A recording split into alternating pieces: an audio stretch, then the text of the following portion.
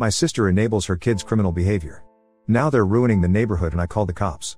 When I came home from work, I noticed my shed door was open and the padlock that I used to keep it shut was broken. And I had a lot of bags full of soda cans in there. I tend to drink a lot of soda, so I've built up a lot of cans. And I was going to cash them in at the bottle drop soon. There was more than just my cans missing from the shed, too. I was missing some gardening tools, a machete, and a gas can. I went to check my security cameras and early in the morning right after I left for work I saw my three nephews break into my shed using a hammer to smash the lock, and taking the cans, as well as the other stuff. I called my sister and she and her husband denied their kids did it. Till I showed up at their house with the footage from my cameras. They were furious with their kids for robbing me and skipping school to do it. I got the other stuff back. The gas can was emptied though, but they'd already cashed all of the cans. I wanted the money from the cans and my nephews had already spent it all on video games and junk food. I demanded to know how much they got from the cans and it was nearly $200. I told my sister she now owes me over $200 for the cans and the broken padlock. My sister and Bill went from being angry at their kids to making excuses for them, and then being angry at me for wanting that money back when I know they have three kids and a mortgage. I said it was either that or I go to the police and press charges. They told me to get out, and I said they have two days to decide how to pay me back before I go to the cops. My nephews are thieves and have stolen from me before. That's why I got the cameras. What my nephews did was most definitely wrong. But I also know my sister and Bill can't really afford to pay me back.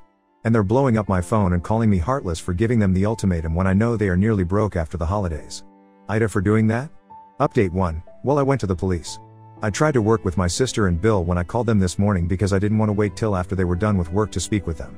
Not only did they refuse any sort of suggested way of repaying me, they actually said that it was my fault for having the cans there to begin with. They said I tempted my nephews with the money. I was enraged and said I was done with them. Then they started blowing up my phone all over again. My eldest nephew sent me a picture of him holding a soda can and giving me the finger. So that was it. I went to the police station and filed a report. Gave them a copy of the video footage of my nephews stealing from my shed. I gave them the broken lock they smashed. Showed them all of the texts, which were screenshotted and also given as evidence. Hell, I even gave them the photo my eldest nephew sent me of him flipping me off. I don't know if my nephews have been arrested yet. But I'm assured they will be. Perhaps some community service will change their attitudes.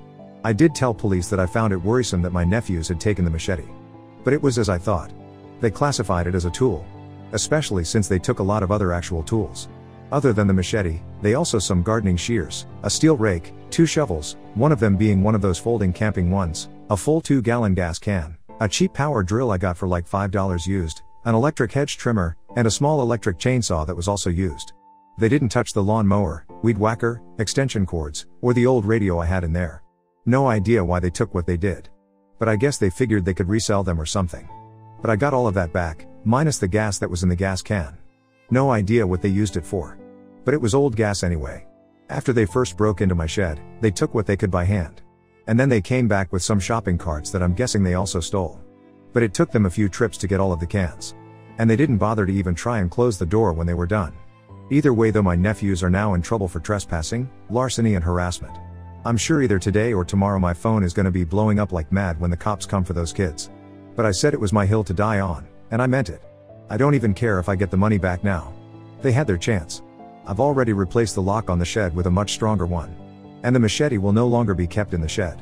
I've also talked to a few of my neighbors about what happened. They told me cans have actually been going missing around the neighborhood lately. If anybody had a bag of cans sitting out, it'd get stolen. Can't say if my nephews were the culprits. But if they were, then they've been doing this for months. I've also spoken with my relatives.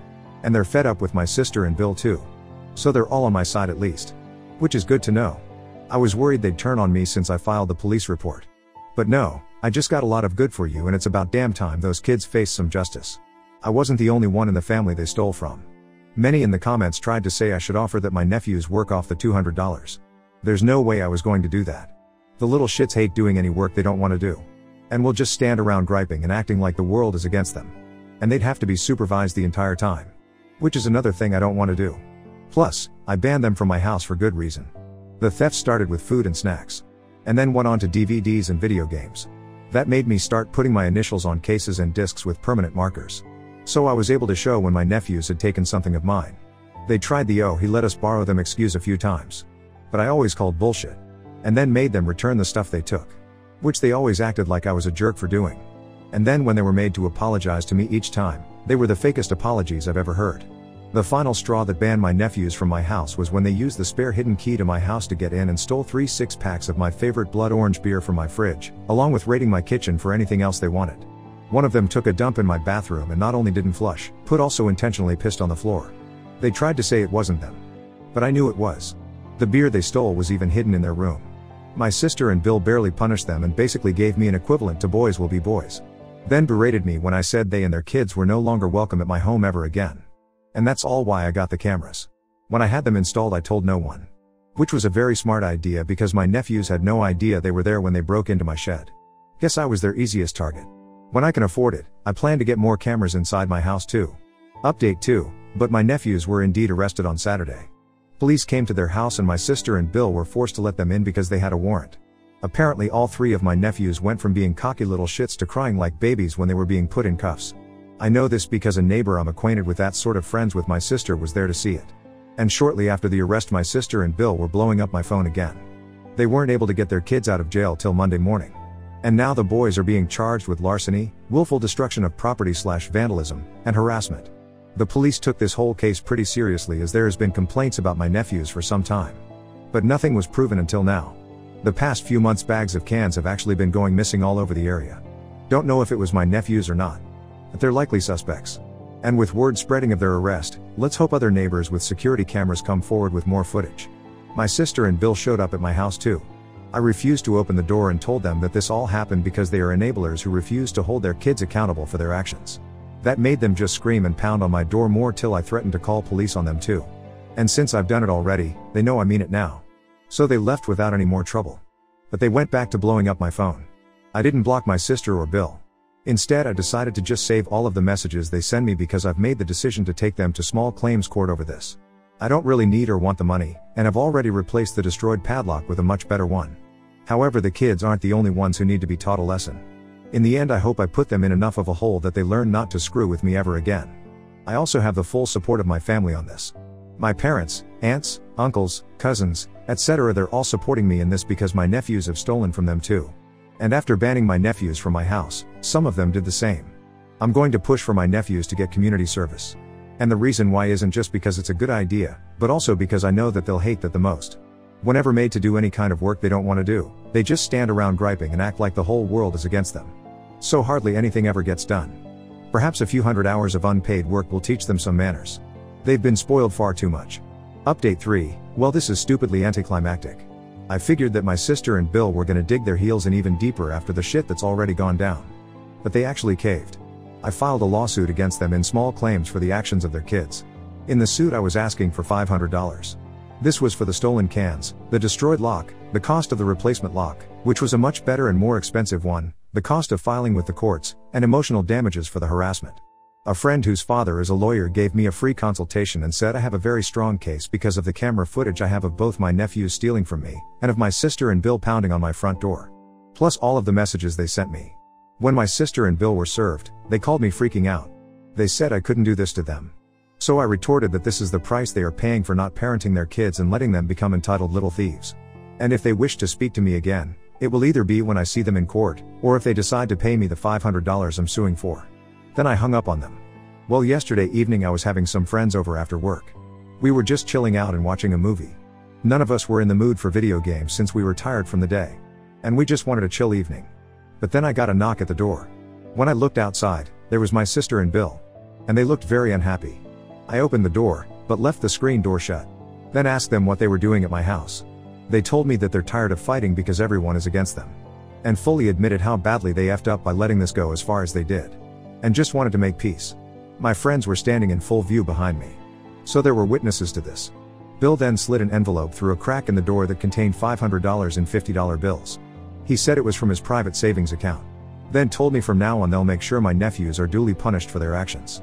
They didn't ask me to drop the charges. But pleaded with me to at least be lenient. I said I was only pushing for community service. Which is pretty lenient. And if we cooperate for that, then hopefully the judge will agree. They sighed and said they'd cooperate if that's all I wanted. Then left without making any sort of a fuss. My friends all congratulated me on holding my ground. Others in my family later did the same. That's when I found out from my parents that they actually threatened to disown my sister if she and her husband didn't make some changes for the better. So now they are. It may be a forced change. but it's the best we'll probably see out of them. My mom paid my sister and Bill a visit after they repaid me too. She told me that my nephews were not playing video games. In fact, every single video game related thing was put away somewhere. And so was the TV that my nephews would game and watch movies on. All three nephews were in their rooms most of the time. And were very rude and unwelcoming to their grandmother. But my sister claims they are dealing with the situation. So yeah, I've dropped the lawsuit now that I've been paid what I wanted. But my nephews are still going to court for theft. And are now getting the parenting they should have been getting long ago. I've also been assured that they will not be coming near my house again anytime soon. And are strictly only to be either at school, or at home. My nephews won't be welcome anywhere near my house for a long time to come. My sister and Bill are now basically forced to do the parenting they should have already been doing. And everyone else I on the family has been on my side about this because my nephews had basically gotten everyone to hate them. Update 4, to start off with, yes I did get more cameras. One I installed right above the shed. So it looks like I've got the whole area covered. I want to say that my sister and Bill, as well as my nephews have learned from this whole ordeal. But that's not entirely the case. Especially for my eldest nephew, who just couldn't let go of wanting revenge on me. And he stupidly tried to get it. Here's what happened. They didn't get more than 100 hours each because I'd been repaid by their parents when we settled out of court. So the judge pretty much fast tracked the case. My nephews ended up picking up garbage and doing work around several local parks. And the man directing them I heard was a retired drill sergeant.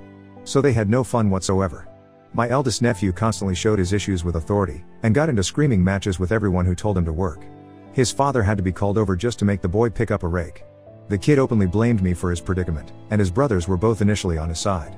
But after a while they realized that he's just crazy and entitled, and they no longer want any part of it. So my two younger nephews stopped following his lead because it finally clicked just how in the wrong they were. Problem is that my sister and Bill blamed me for the divide in their family, which didn't end well for them as no one in the family was on their side about it. Everything was put on them and their bad parenting. And without me to blame, they just became silent and bitter. Half the family don't want to associate with them, and now their own kids are divided because the eldest refuses to change. It got so bad that my eldest nephew resorted to something so incredibly dumb that you're not gonna want to believe it. In the middle of the night he sneaked out and assaulted my house with a pair of his dad's claw hammers. I say a pair because he literally had one in each hand. The first thing he did was start smashing the new lock on my shed, and it didn't break. But he heavily damaged it to the point it was no longer usable and I had to later remove it with bolt cutters. He also did a lot of damage to the shed door with the hammer's claws. I awoke to the sounds of the hammers, and called the police after peeking out my bedroom window and seeing someone outside hitting the shed. Though I didn't realize it was him at first because he had his face covered with a creepy looking mask. He saw the bedroom lights come on and chucked one of the hammers through my window. There was broken glass everywhere, and I'm lucky I didn't cut my feet on any of it because I was barefoot. Then my nephew started beating on my back door with the remaining hammer. He did major damage breaking the knob and the window on the door, and also tore into the door itself with the hammer claw. I was worried the door wouldn't hold out, so I yelled police were on their way, and he took off before they arrived. The night vision on my camera showed it was him. He had a mask on, but was wearing his school hoodie, as well as his Nike shoes that were also pretty identifiable since his brothers don't have a pair like them. His fingerprints were also on the hammer he threw at my window. My nephews had already all been fingerprinted when they were arrested the first time. So police matched the ones on the hammer to him. When the cops came for my eldest nephew, he obviously denied it was him.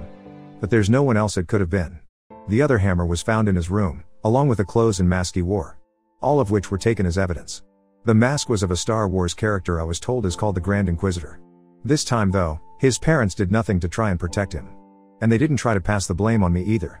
They just let their son be taken away screaming. I wasn't there to see the arrest. But I was told by my sister that my eldest nephew was switching back and forth from crying that he didn't do anything wrong, to screaming that it was all my fault and he had to get back at me. The boy had to go through a serious mental evaluation, and was found to be potentially bipolar. Doesn't really excuse what he did though. Later on, when he was properly diagnosed as bipolar, he started blaming everything he did wrong on that. And acted like he should be vilified just for getting treatment for it. But he ended up having a month long stint in juvenile hall. They got my nephew properly medicated, and he pleaded guilty to forego court again in exchange for more community service and mandatory counseling, as well as probation this time. His dad came to my house and personally replaced the broken window and door though he barely said a word to me while doing it. My two younger nephews are still excluding their older brother from pretty much everything. And he still hasn't apologized for attacking my home either. He's also unfortunately repeating a school year because of how badly his grades tanked. Which his parents are still very unhappy about. My two younger nephews dropped by on their own in July to personally apologize to me. They said that they always just follow their brother's lead, and he made everything they were doing seem so fun. But the punishments for the crimes are not worth the kind of fun they were having. and they don't want anything to do with it anymore. They want their fun uncle back and asked if we could start over. I said we can, but they'll have to earn back my trust. Which they happily agreed to. My eldest nephew had his 17th birthday a few months ago, and basically got nothing. Not even a cake. It was part of his punishment for what he'd done. I can only imagine how much money he's cost his parents in the past year alone. He led his brothers to steal from me and then destroyed my bedroom window and back door. I imagine in total with the lawsuit I'd previously filed, and replacing both the door and window cost them over $1,000. Doors and windows are not cheap.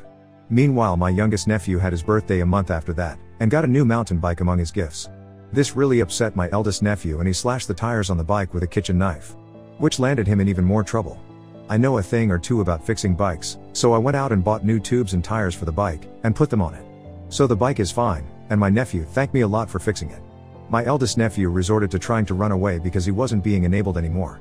He just walked out, got on his bike with a backpack full of stuff, and rode off.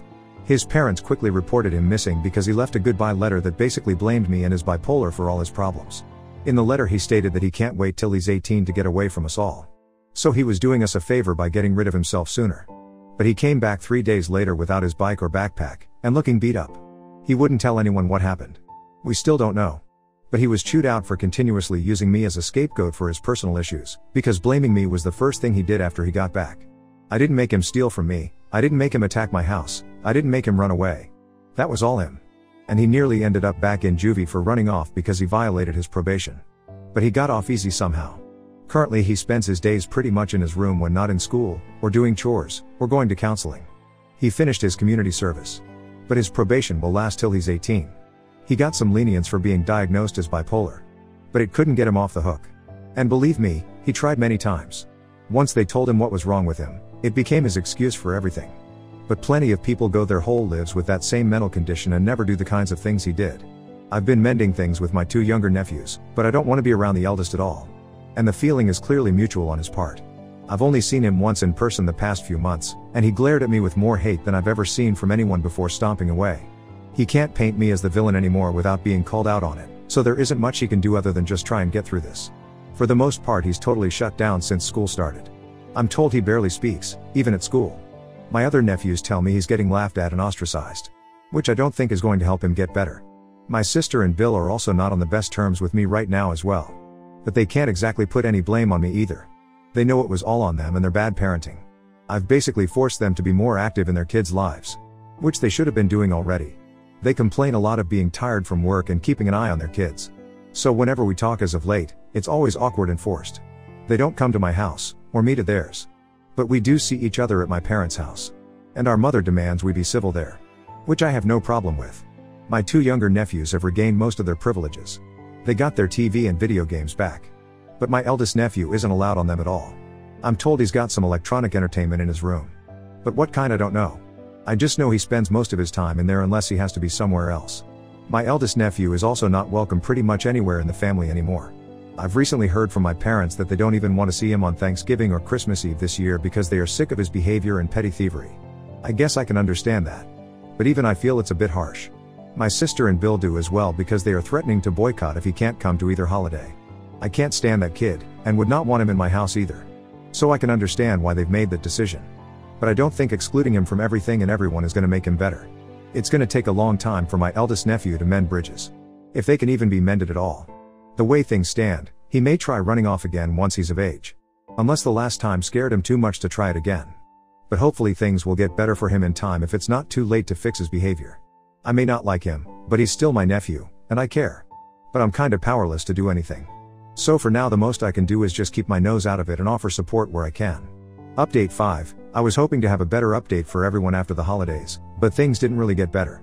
They started to, and then went downhill again. It took some time, but everything is more or less okay now. I didn't post earlier because I thought it better to wait. I wrote most of this months ago, but decided I'd wait a little longer to see if the situation would improve. But then I waited too long and just plain forgot until recently. So here's hopefully the final update of the devil snake who tempted his nephews with a shed full of cans. I'd do a recap, but there's just too damn much for that. So if you want to know the rest, you'll have to go back and read it. To start this post off with, last year my sister and Bill went to Thanksgiving at Bill's parents' house instead of with my parents. My eldest nephew wasn't exactly on his best behavior over there either. But he didn't cause any trouble. At least, that's what they told everyone. My sister and Bill also had a long talk with our parents about how excluding my nephew would not help his mental state at the moment. And I also backed them on this because with the way things were going, all my nephew would feel is hate. So my parents relented and let him come to Christmas Eve. I, of course, got him a gift. But because I wanted to help him mentally get better, in early December I went out and bought him a used metallic green mountain bike at the local second-hand store. It needed a little bit of work, but was an excellent buy for 30 bucks. I also learned that since his good backpack was stolen, he was using an old one that belonged to one of his brothers. So I grabbed a used one at the same second-hand store for about 5 bucks. I fixed up the bike and washed the backpack, and when I presented them both to him on a Sunday, he seemed completely shocked I'd give him anything. And it also made him really awkward. But he took them both with a look that said, thanks and started using them right away to go to and from school like he did with his old bike and backpack. My sister and Bill were also pretty damn shocked I gave him gifts, let alone replace the stuff that was stolen from him when he ran away after he attacked my house with hammers. But the gifts had the effect I was hoping for. I was no longer the object of his rage. He really had been looking for any excuse to make me out to be the vile snake that ruined his life. But I'm not. When I next saw him, it was at the family Christmas Eve party. And while there, my sister and Bill made him apologize for putting all his anger on me. They loomed over him like shadows while he talked to me. He was told to look me in the eye repeatedly. And in his apology, he admitted that it wasn't my fault he was arrested. He egged me on, he stole from me, and he damaged my property. And he won't do it again. We shook hands, and he didn't make any trouble at the party at all. But his parents were like his shadows that entire evening. They didn't leave him alone at all. They might as well have had him on a leash. It was awkward, but I can understand why. They'd put a lot on the line just so he could be allowed to come to Christmas. At New Year's, though, things took a dive. My eldest nephew stole a bottle of champagne from his parents and drank it all fast while locked in the bathroom before anyone could stop him. He'd asked for a drink of it prior, and was told he was too young. So he stole one of the bottles and chugged it. We didn't know this until then, but apparently he'd been stealing alcohol for some time before his first arrest. And he kept a hidden stash somewhere that slowly ran out as he only touched it little by little, and even sold some of it to other kids in the neighborhood. He didn't get in massive trouble. Just got sent to his room for the night after he said he stole the booze because he was just really craving it, and it was New Year's. His brothers admitted to their parents about his stash, and showed them where it was hidden. It was a plastic tub in the crawlspace under the house. When confronted about how they got all the alcohol, my two younger nephews admitted to following their brother's lead and only stole one beer at a time or poured some hard alcohol from its original bottle into another bottle little by little. And then the biggest bomb. They had been sneaking into other people's houses and doing the same thing all over the neighborhood. Their way of breaking in was to look for unlocked doors and windows, no houses with dogs because they'd bark, and the youngest would crawl in through windows because he was the smallest. And then he'd unlock the doors to let his brothers in. They made sure not to steal anything big from inside the houses, so they could come back multiple times. But after they got arrested last year, they realized they didn't enjoy being thieves anymore. And were just following their brother's lead, like they'd said before. Of course, the kids were in trouble for not admitting any of that until then. And despite trying to keep it secret, word still got around somehow. It confirmed some of the suspicions of the neighbors. Considering how good my nephews were at being cat burglars, you'd think they'd have been more mindful of cameras. Or perhaps they just figured old Uncle Yam would never get cameras. But after my nephews were exposed as thieves, a few of my and my sister's neighbors got cameras too. The punishment for admitting how they stole stuff was minor for my nephews. It was kinda redundant for the eldest because he's still in trouble with being on probation and whatnot. And he hadn't tried to steal anything else until he took the bottle of champagne. My Bill started giving him lots of mint gum to chew to help with his cravings, because it was what he used to help cut back on drinking himself. And it kinda helped. Bill also started keeping all his booze locked in a padlocked fridge in the garage. He suspects his son tried to get into it once. All of that aside, things didn't seem so bad until my eldest nephew got in a fight at school in February. I'm told he didn't start it. But another kid picked on him until they started swinging fists. He got his two front teeth knocked out by the bully when he got his face slammed into a locker. There ended up being a reason why for this attack. My younger nephews told me their older brother had a number of targets to pick on at school before getting arrested. He was apparently the typical bully people picture when they think of one. He stole things from other kids, aimed for the small and the weak, smacked them around when no one was looking, and on more than one occasion used a small knife to stab bike tires. Well, the big brother of a kid he'd previously picked on went after him. And that boy messed him up. Both of his top front teeth were knocked out, and his nose was broken. He had to be taken to the hospital, and an emergency oral surgeon had to put his teeth back in. Which also required special braces to hold them in place. His nose also had to be reset, and he was put in a neck brace. The poor boy didn't want to be seen by anyone for months. No one pressed charges. Believe me, I've asked many times as to why not. But the other kid's parents paid at least half of the cost for my nephew's treatments for his teeth and nose through their insurance. That's what they told me anyway. My sister and Bill's health insurance sucked for covering the rest though, and they had a high copay. They didn't bother to file anything because they didn't want to be in court again, and the other parents only paid as much as they did because they didn't want to be sued. I contributed a bit to the cost too. I still had the $500 they'd given me in cash after I sued them, and decided to give it back to them to help ease the cost a little. They won't tell me how much it cost to get my nephew's nose fixed and two front teeth put back in. But after that, I think they may have had no savings left. When I saw my nephew after the incident, his face was messed up, and his front teeth were wired in place. He refused to return to school and did all his remaining lessons online with a school provided laptop. The boy who beat him up, I was told, received nothing more than a two week suspension. I won't deny I was upset. But at the same time, I know this only happened because my nephew was a bully to other kids. What goes around, does still eventually come around. We're in summer now, and my eldest nephew is still a shut in most of the time. He'll go out bike riding alone for an hour or two. But other than that, he generally keeps to himself in his room. There have been talks from my sister and Bill of moving closer to his parents after their son's probation is up. And I don't blame them. Practically the whole neighborhood hates them now. So they want out as soon as they can afford it. Which unfortunately may take another year or so to pull off. I have been spending more time with my two younger nephews. And they are doing a lot better now. They're more respectful and have been allowed back in my home. Nothing has gone missing, and I enjoy spending time with them watching movies and playing games. They've become good kids again. And they're trying to make up for their mistakes. On the rare occasion I see my eldest nephew, he is not cold to me anymore. He even brought his bike to me for repairs once. But he's a boy of few words now. Almost stoically silent these days. I do know that when he's 18, he wants to be far away from here. We've suggested trade school. And he's not against the idea. Beyond that, I've been doing my best not to overstep as an uncle. So that's it. After all this time, I may have nothing more to write here.